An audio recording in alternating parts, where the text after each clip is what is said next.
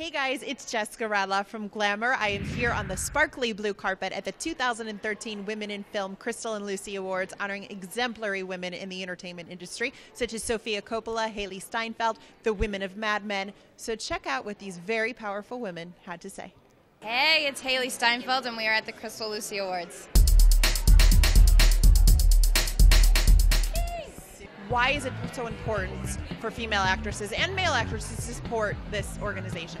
Oh, I don't know. Maybe because we're, what, 51% of the population on this planet? So it's important to tell our stories too. I wonder if I'm having trouble dating and finding a guy. well, I know you are presenting tonight to the women of Mad Men. How did how did that come about? Did they ask you? Are you a big fan of the show?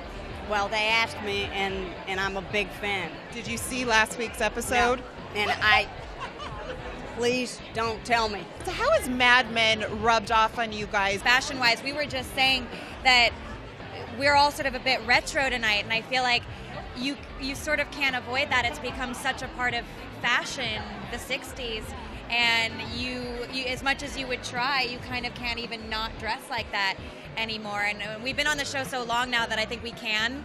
You know, it doesn't matter anymore. We can go back to it. One of my favorite movies you've ever done is one of your earliest, which was Dave, and it came out 20 years yes, ago this summer. That my dad, one of my very first films. Yes, my yeah. dad took me to the theater. I was literally 13 years old, and it is now one of our favorites. It is. we just have the shared oh. bond of Dave. What do you remember most about that time? Because it was one of your first films. It was one of my first. I remember a lot about that movie actually because I really didn't know what I was doing. Film, I was very, very new to film. I had been on very few sets. It was all a little you know, I'm a theater kid from New York City, so I was not used to all of it. So I was, I felt a little out of step the whole time, but it was, people were very nice, and Kevin was lovely. Uh, my wonderful agent Iris is uh, the head of Women in Film, and, and so I'm so excited to support her. I I love women, I love film, uh, so I'm, I'm, just happy to be here to support everything. Do you think it's possible for Sally to have any role models after what she went through in the last episode? I think at this point she doesn't really. She, adults are not in a good light for her. Right. I don't think she trusts them, and I think she thinks adults lie. So at the current moment, no. What's the best advice that you give to young girls starting out in this business?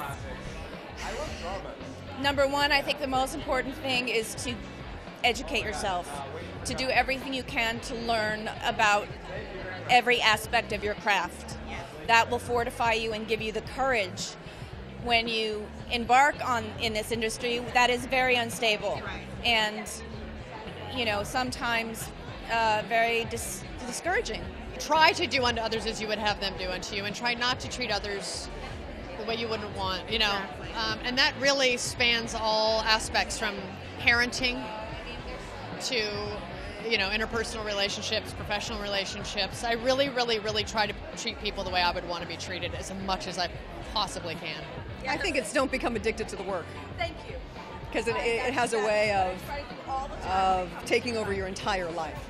And it's, it's a very easy thing to happen. If you're fortunate enough to, to have work and work keeps coming, it's very easy just to keep working and then you don't develop as a human being. And you can get a little, uh, you know, out of sync. Follow your heart. Yeah.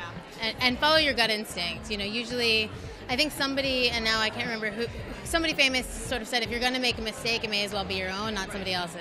Be yourself, and and and don't be insecure in who you are. Like embrace who you are, and and be yourself, and stay grounded and stay humble, and and that carried me throughout the whole thing. So always try to try to listen to that inner voice telling you you know, because there's a voice there that tells you what you need to be doing creatively and embrace it. Don't run away from it. Don't be scared of it. Just be, just listen to it. To have fun and don't take things too seriously. And I sort of live by that. My motto is dream big. I have it. My whole family has. We all have it tattooed on us, and it's just. I feel like it's so important for for people to to not just settle for second best, but to go after your biggest dreams ever. It's my favorite thing. If I if you keep your feet on the ground, how will you ever reach the stars? They always say follow your dreams. A lot of people say that. I think you got to adjust your dreams a little. I would say be flexible. Tell me, by the way, you look gorgeous. Who are you wearing tonight? Thank you. Uh, well, Max Mara. You know, they're very comfortable and loose fitting and yet stylish. So uh, I didn't even bother with the Spanx tonight. I was like, you know what? You don't need them. I'm leaving them at home. I'm just going to have a good time.